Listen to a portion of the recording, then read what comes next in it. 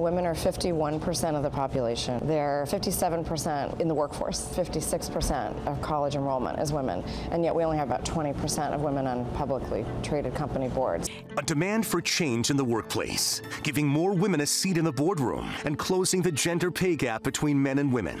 How to find out who's making what in the office and get the pay you deserve. Your gender identity is your own identity, not someone else's. Views on gender identity are expanding. California now offering gender options on driver's license and birth certificates. But advocates say there's still a long way to go. It's hard work, you know, trying to be authentic. Tonight, a special presentation of KCRA 3's Project Community, exploring gender equality. Thank you for joining us for our Project Community Special Exploring Gender Equity. I'm Lisa Gonzalez. Just over half of the U.S. population, 51%, are women. Yet companies selling to people across the country, even here in California, had few or no women in leadership. But with legislation and tenacity, that is finally changing. We all know that feet come in all shapes and sizes. Sometimes the ads target the audience. Gabrielle Chanel said, Every time I've done something reasonable, it's brought me bad luck. And sometimes they target everyone. The next generation of TiVo Bolt. But for years and years, companies throughout California and the U.S., even ones that sold almost exclusively to women, had one thing in common. Most of the company's board members were men. Women are 51% of the population. They're 57% of uh, in the workforce, and then they're 56% of college enrollment is women, and yet we only have about 20% of women on publicly traded company boards. Amy Bernard Bond is a consultant. She works with those big companies and consults small ones too, like the restaurant Rind in Midtown Sacramento, adding that it just makes good business sense to have women represented in the company. Until recently, even companies like those owning Chanel and Estee Lauder, female oriented brands, had no women on the board. If you just look at the numbers, you're leaving talent on the table if you're doing that. Um, and I don't know any successful business that looks at business strategy that way. California has 400 publicly traded companies, yet by 2013, only 15% of the directors were women. Companies like Skechers or TiVo still have no women on their boards. One of the last bastions where women are way underrepresented is in the corporate boardroom. So, five years ago, the Senate passed a resolution to try to address the problem. The resolution passed uh, fairly overwhelmingly. Santa Barbara Senator Hannah Beth Jackson authored that resolution, but it didn't work. The uh, needle had moved from 15.5% of all those board seats held by women to a whole 16%. So Jackson moved from passing a resolution to passing a law. Without those women uh, being able to have a seat at the table, without them being able to be part of the decision making, the policy making for these companies, uh, there is a real uh, loss of opportunity that this legislation is designed to correct.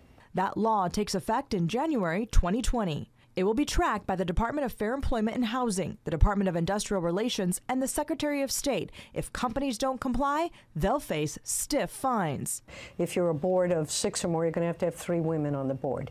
If you have one woman or no woman, uh, and you should have three, the fine will be equal to what you pay in compensation uh, to a board member. So it could be up to $250,000 a board seat. And both Bernard Bond and Senator Jackson believe if companies like the Weinstein Company had women on the board, those secret settlements for Harvey Weinstein's alleged sexual abuse would never have happened. The, the, board of directors was well aware of this man's behavior and put hundreds of millions of dollars away from its profits, from the potential for shareholder benefits, in order to pay for this man's indiscretions and outrageous and criminal behavior. I just can't imagine a company with uh, uh, women on those boards that would have tolerated that behavior. But with the new law poised to take effect in less than a year, companies are already making changes. And I've got two daughters, and they're really smart, and I want them to have access to these opportunities. And frankly, as a governance expert, I want our companies to thrive. Changes both women see as hopeful for the next generation of women. Senator Jackson's law did not face much opposition. In fact, companies are already asking for resources to find more qualified women. California isn't the first to create this law. Several European countries had even stronger laws passed as far back as 2004. So, how much money are women earning compared to men in the same occupations? And how do women know how much their male counterparts are making? Tony Valier sat down with Kendra Harris with the California Commission on the Status of Women to get some answers. So, Kendra, first off, what is the disparity in pay equity? So uh, the disparity is quite large. Um, for women, the nationally recognized Pay Equity Day is April 2nd, where women earn 80 cents on the dollar for their male counterparts. Um, and we say April 2nd because it takes until that date for women to earn the same as their male counterparts in the same kind of work field. Um, but for women of color, the disparity is actually much larger. Um, for white women, the general accepted day is April April 19th at 77 cents on the dollar. Black women, August 22nd at 61 cents on the dollar. Native American women, September 23rd at 58 cents on the dollar. And Latina women round out the bottom, sadly, November 20th at 53 cents on the dollar. Would you say this has gotten better or worse over the years? Overall, we could say that pay equity is getting better, but it's still a major economic factor for women, especially women of color, like I mentioned. Um, on average, women earn less than men in nearly every single occupation for which there is sufficient earnings data. So, with the Fair Pay Act, California is supposed to make sure that people performing substantially similar work be paid equally. But in a real world scenario, if you don't know what salaries others are making, how do you make sure that you are getting that pay? Well, one, the Fair Pay Act is an important step that California made to ensure that there was more equal pay rights in, in, in workplaces, and California continues to be a leader on, on the nation, nation, on those issues. Um, one important uh, part of the Fair Pay Act is that it provided particular protections for women um, or men if they asked their colleagues about uh, salaries. And so, if you ask your coworkers how much you're making and you say, you have the same job, you could, you can't be um, retaliated against. So that's an important measure. Um, one other thing that the, the commission did in, re in response to the Fair Pay Act is we created the Pay Equity Task Force. And the task force was made up of uh, attorneys and HR professionals and business leaders. And they worked for two years to create resources uh, for Californians in how to, you know, utilize the Fair Pay Act in the workplace and advocate on their behalf for equal pay standards. I mean, when you ask a coworker their salary, you're hoping they're being honest with you. So, uh, are there other resources or ways to find out if you're getting equal pay? Well, the Fair Pay Act also, uh, in, in, and the task force created some tools. So, if an employer or an employee wants to ask about, you know, pay standards in the workplace or do, doing a pay analysis in the workplace, um, there are resources that the task force is releasing, um, and also there are are legal uh, compliance and enforcement issues in, in, addition to the Fair Pay Act. So if an employee really does, does feel like they're being discriminated against, the Fair Pay Act gives them the ability to file a complaint with the state um, and you know do a thorough investigation of the workplace. So is the gap wider or harder to close with higher earning professions? You know, actually, even in higher earning professions, the gap is pretty high. You would think that it wouldn't be so, yeah. um, because they're of course so highly educated. But even um, the American Association of University Women put out a study and they said women physicians and surgeons are actually compensated only 71 cents for every dollar compared to their male counterparts. Uh, financial managers, the gap is higher at 35%, and even in the legal field, the gap is 24%. So, how realistically do you enforce and reinforce the need for pay equity? Will we ever get to a point where we don't have to enforce? It's just part of the process, just standard. Well, we're hopeful that you know pay equity would be a part of the norm. It'd be a part, a cultural, just accepted. Um, but you know, women make up 50% of the population, so why wouldn't you want to pay them, you know, equally to their male counterparts? Kendra, thank you so much. Great information. We appreciate it. Thank you. Back to you guys. Well, like California, Oregon, Massachusetts, Maryland, and New Jersey have passed their own laws to close the gender pay gap.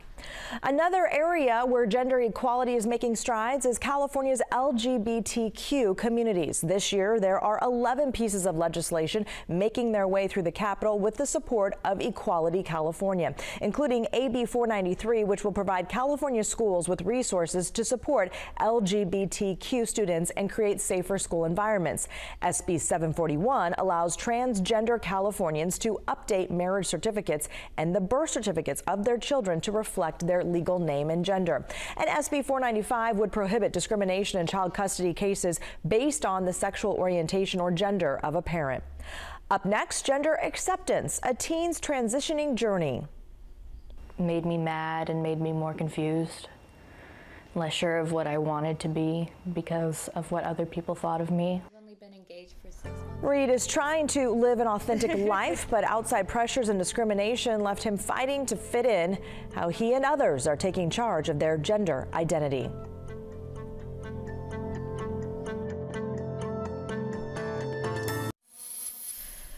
Views on gender identity are expanding. You may notice it on the bottom of an email signature. Pronouns such as he, she, and they. In California, there is now a non binary option on driver's licenses, which means you don't identify as male or female. And as of early March, nearly 900 IDs and licenses with non binary gender category have been used. And the same can be done on birth certificates statewide. Gender to me is a world of possibilities. And as people get more power to shape how to be identified in society, we're going to explore this gender spectrum through the life of a teenager we profiled two years ago in a series on transgender youth called Now I Am Me. What we learned is authenticity is a deeply held belief in who you are without labels or expectations. Reed is turning 18 years old next month, and it's been a couple years since we last hung out. Like last time we talked, I wasn't even 16 yet. Like I was struggling in high school bad. Reed then went by Tyler Reed. Assigned female at birth, at 14 years old, began socially transitioning as male. I got a haircut. I started like binding my chest. I still don't really feel comfortable in my body, but I feel like I know now why I'm uncomfortable. With the support of his mother Stacy, stepdad Todd, and siblings, Reed began taking steps to medically transition to male.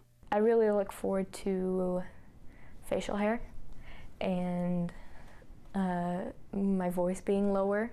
But that's now been put on pause after family hardships. My grandparents on my mom's side never really accepted me. Um, which is like one of the main reasons why I go by Reed now. The traumatic breaking point when Reed was a groomsman in their brother's wedding, yet still publicly unaccepted. The specific moment I decided to retransition was when my grandmother called me a girl in front of everyone at my brother's wedding.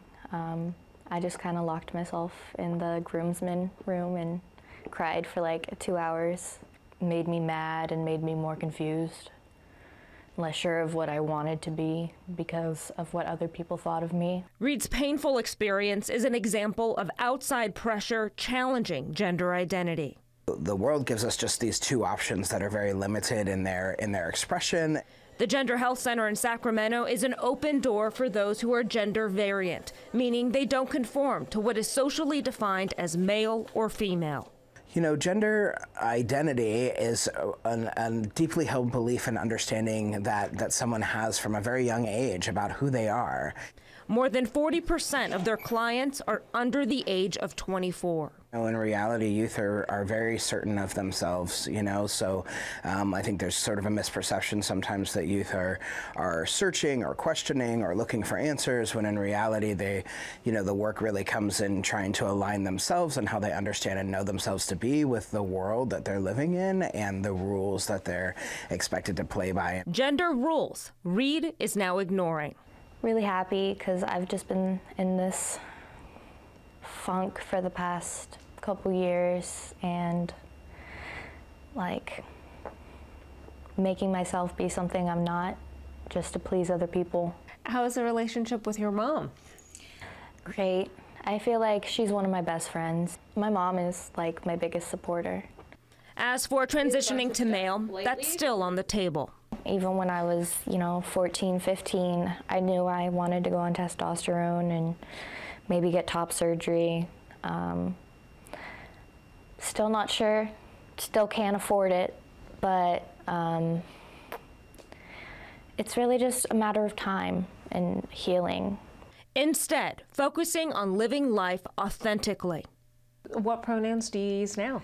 I have no idea. um, I prefer not to be called a she still, but it slips and like I'm at the point where I'm kind of stable in my own identity that I don't really care what anyone calls me. At a time when society is learning more about gender fluidity, that's an identity that fluctuates between two or more genders, as well as non binary, which means identifying as a gender outside the binary of male and female. Getting to know other people who are gender fluid really made me like think about how I don't need to just put myself in a box and I don't need to follow stereotypes of, you know, sex and gender. In the two years since we first met, Reed graduated from high school early and is now in cosmetology school. Growing up and in love. He supports me through everything, whether I want to retransition or whether I want to get all pretty and dolled up in a wig and high heels. He's just like a dream come true for me. Approaching adulthood with confidence in defining gender on Reed's own terms. Your gender identity is your own identity, not someone else's. Vicki Gonzalez, KCRA 3 News. Airlines are now officially recognizing non binary gender identities. Soon, airlines like United, Delta, and American will have male, female, undisclosed, or unspecified as a gender option while traveling, as well as MX as a title, replacing Mr., Mrs., and Ms. Coming up, the app that's giving San Joaquin County LGBT youth a safe space. Stockton's LGBT youth community has a new resource. As KCRA3's Vicki Gonzalez shows us, San Joaquin County Pride Center's I Am mobile app provides instant support, safe spaces, and help with dealing with bullying and harassment. If I myself had access to this app in high school, I do think it would have helped immensely. Um, just because I didn't feel like I had that outlet or you know, a catalyst to reach out to people that could have helped me. James Patnode is the data analyst for the San Joaquin Pride Center. He helped create and launch the I Am app last month.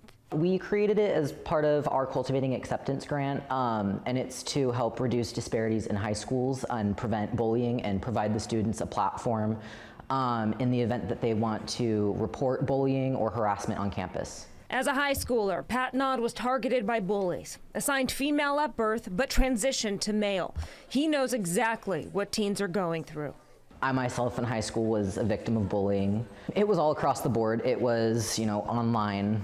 Um, I had people commenting on Facebook and MySpace back in the day. Um, um, a lot of just, you know, verbal harassment. It did eventually culminate to physical bullying, but that was addressed pretty quickly once it happened. Five years in the making, the free app includes a forum for teens to socialize with other LGBT plus students, promote and showcase local activities, report bullying, and information on how to create their own student club on campus, as well as suicide and depression support.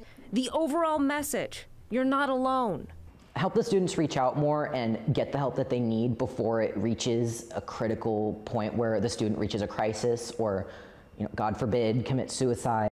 The challenges LGBT youth face, either at home, at school, or in their community, can be overwhelming. According to a 2018 CDC study, lesbian, gay, bisexual, and transgender students are roughly four times more likely to seriously consider suicide and to attempt suicide than their straight peers. Mental health is a big big issue right now. Alexandria Lenzi is the Pride Center Youth Outreach Director. She says out and closeted teens face unique challenges. When you're out, you're getting more attention. Um, some of it might be positive, but a lot can be negative. Um, and when you're closeted, um, you're still dealing with not being validated as who you are um, or feeling like you're hiding yourself, and that can be very isolating. A lot of kids don't know where it's safe to be out and themselves. The app gives LGBT youth support and acceptance. It's a first step, but Patnode and Lenzi say there is still a long way to go. There's still the current political climate that's very negatively impacting the progress that we're making. Unfortunately, I do think bullying is still going to happen no matter what changes are made, but I do hope that we can help bring that down. I want to see it grow as a youth-led movement. I want to see the youth get involved. Vicki Gonzalez, KCRA 3 News. Right now, the app is just for San Joaquin County students, but the Pride Center says it may consider expanding outreach at a later date. We'll be right back.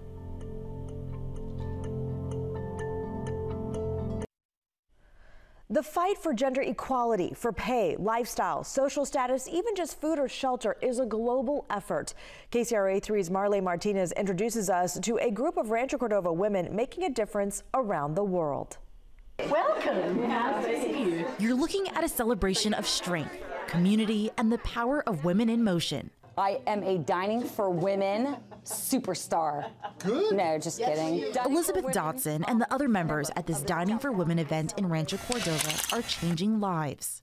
These women take the money they would normally use to dine out and donate it to charity. A lot of women are not in school to get the education that they need, and because of that, they don't always have the experience that they need to do simple math. And if they can't do simple math, how can they actually manage a household financially? How can they actually build a business of their own? Donations go to groups like the Nepal Youth Foundation, providing children in Nepal with education, housing, medical care, and support. It may be poverty that's worse for girls and women because they're not given the same opportunities. Families don't invest in them perhaps the same way they do in the boys in the family. So, as these women get to know each other and break bread in a different place every month, they learn the differences their work can make throughout the world. It's not a matter of comparing men and women. It's not a matter of fighting or saying, I'm better, you're better, or yes, you have to give me this or that.